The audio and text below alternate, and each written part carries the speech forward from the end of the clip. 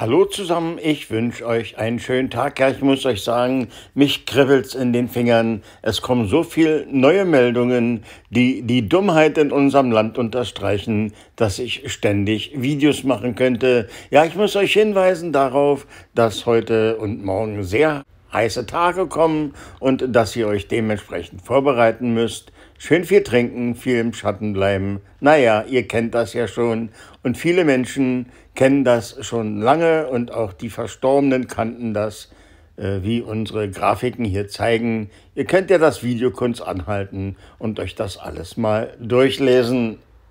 Und bevor unsere Freunde, die Faktenchecker hier in den Kommentaren gleich wieder durchdrehen, wie wir hier sehen können, bei diesem neuen Animationsfilm darf Satire alles und das wollen wir uns dann auch einmal gönnen. Ja, Satire ist das ja hier vielleicht nicht, denn Siegheilkirchen gibt es ja viel in Deutschland und so könnte man ja fast jeden zweiten Ort nennen.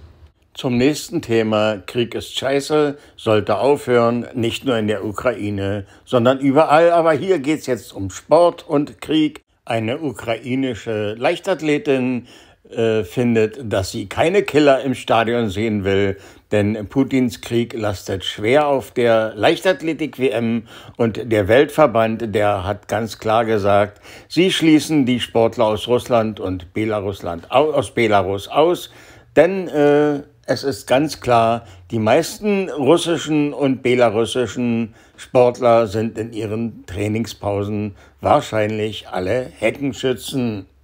Deutsche Wissenschaftler haben eine neue Technologie entwickelt, und zwar den Dualfluid-Atomreaktor und der soll sogar alten Atommüll fressen können und verarbeiten können. Ja, wir hier in Deutschland wollen uns ja von der Atomkraft verabschieden. Die restlichen drei Atomreaktoren sollen ja dann auch bald verschwinden. Und dann wird es uns so gehen wie mit der Magnetschwebebahn, die in Shanghai fährt und dort den schnellsten Zug der Welt hat. Äh, wir machen lieber grüne Verkehrspolitik und haben hier das Lastenfahrrad, aber da gibt es ja auch sehr schöne Modelle. Die Mainstream-Medien wissen, dass Wladimir Putin nun vielleicht eine letzte Trumpfkarte ausspielen könnte und die könnte den ganzen Krieg entscheiden. Wissen die Medien nicht nur den halben Krieg, nein, tatsächlich den ganzen Krieg. Und der Berater des russischen Oppositionellen Nawalny glaubt, dass Putin einen Waffenstillstand will und dass der Westen sich vehement dagegen wehren muss. Die Show sollte doch weitergehen. Wahrscheinlich sind die Vertreter der Grünen Partei, die auf diesem Gebiet Kompetenzen haben und Kapazitäten sind, auch dieser Meinung und sie schließen sich an und äh, ja, wir sehen, sie sind gut vorbereitet für den Ernstfall.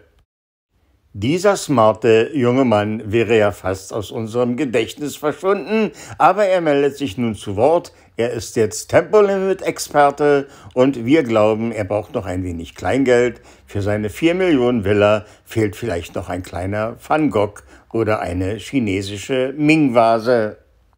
Die kosmopolitische Politikerin Ursula von der Leyen, die ja schon auf vielen Gebieten und auf vielen Positionen tätig war, um dem Volke zu dienen, ist jetzt auch wieder unterwegs. Wir sollen nicht frieren im Winter und darum versucht sie Gas zu besorgen, wo immer es geht und sie begibt sich da ja in die feine Gesellschaft, in die ehrenwerte Gesellschaft.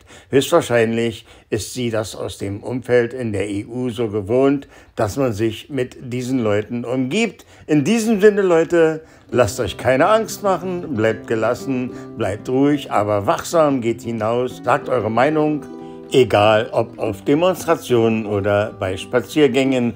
Vor allem aber bitte einen Daumen hoch, falls es euch gefallen hat, einen Kommentar da lassen, gut oder negativ, wie auch immer. Und bitte abonnieren, das wäre sehr nett. Wir wollen noch mehr Leute erreichen und äh, wir wollen noch mehr Leute davon überzeugen, dass die Dummheit wehtut, äh, trotz dieses Schmerzes. Genießt den Sommer, genießt die Natur, genießt die Sonne. Äh, ja, drei Tage warm wird es jetzt und dann wird es wieder normaler. Alles ist im grünen Bereich. Bis zum nächsten Mal. Tschüss und ciao.